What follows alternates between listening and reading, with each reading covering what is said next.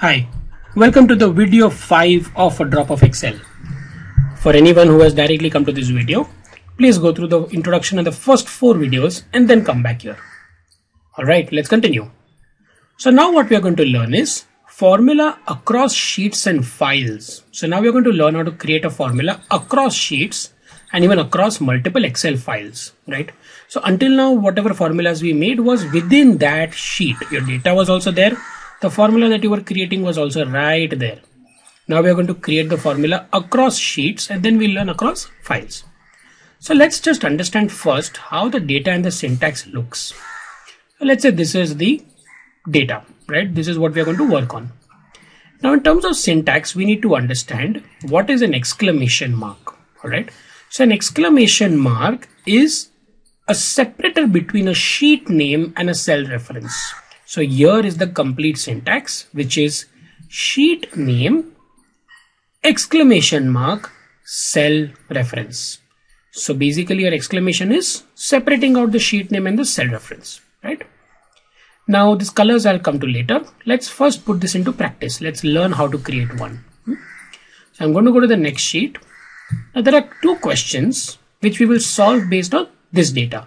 So the name of the sheet is data and syntax we're going to solve it in sheet name 5.1. Total inventory means what do you want is a sum of this column, right? So what we're going to do is we're going to say equal to sum tab. Now, with your mouse, you will click on this data and syntax sheet and you will select this. All right. Now, please, please keep in mind that your formula is being created on top here as well. You can see it here. You don't need to go to that sheet to check the formula. This is the significance of the formula bar that whatever you are doing, you are able to see that being built up in this formula bar, right? So now let's see this. What does it mean? It says the sheet name, data and syntax, then the exclamation mark, and then the C2 to C17 so this means that I am going to pick up C2 to C17 values from the data and syntax sheet. Now, if I directly click on this sheet 5.1, see this changed. So instead of taking it from data and syntax, now it's taking from sheet 5.1. So that's wrong. You had to be here.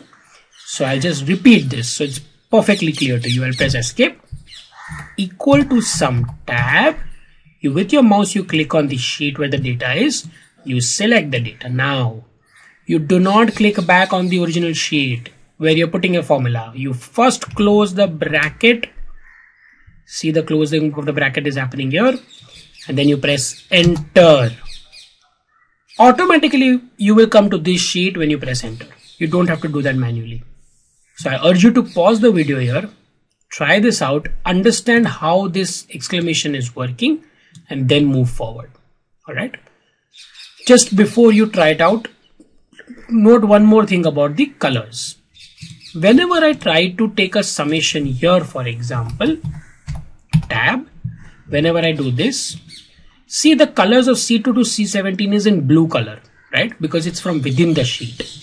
But when I do a formula here, I pressed F2, whenever I'm taking the reference from another sheet, it will always be black in color. So that's about your colors. Go ahead, pause the video, do this much and then come back for across files. Alright, now let's learn across files. So again, we'll focus on the syntax first.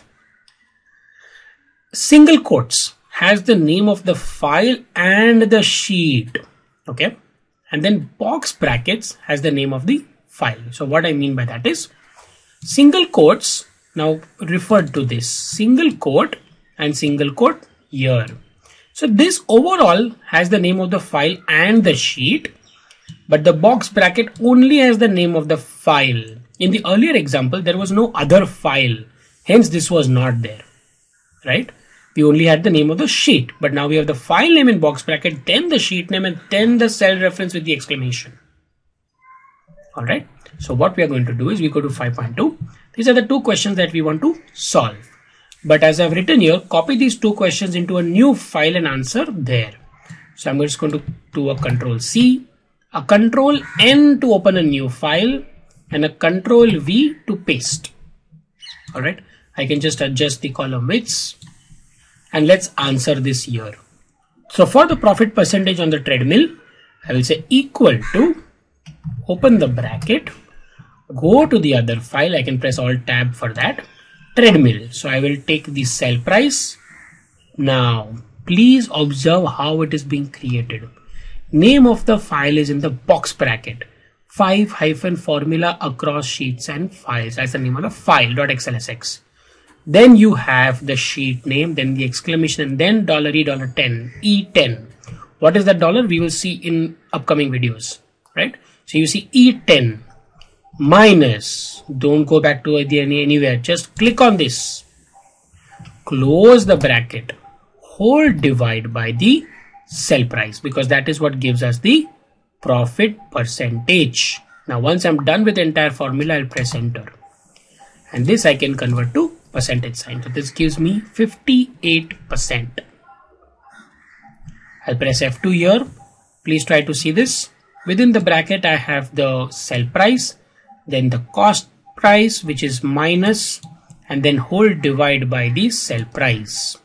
Formula looks super complex, but it's nothing. If you understand the syntax properly, it is nothing difficult to, about this formula to understand. Interesting? Let's go back to the file and let's solve for practice the 5.1 second question and then 5.2 second question we will solve in the other file. So I'm going to solve 5.1 here profit percentage on speed rope. Now we are going to do this from the same file but across sheets. So the box bracket will not come. So I will say whole equal to profit percentage on speed rope. So I'm going to say speed rope sell price. Observe carefully there is no file name it's only sheet name minus cost price, close the bracket, whole upon the sell price of the speed rope and I can convert this to percentage.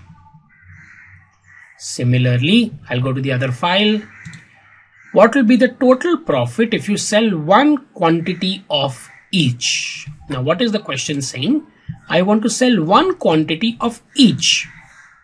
So what will my total profit be? Now we don't have the total profit as a column, right? So we just add a column so you can right click and insert a column and you can say profit and here you will say equal to sell price minus cost price. And I will double click.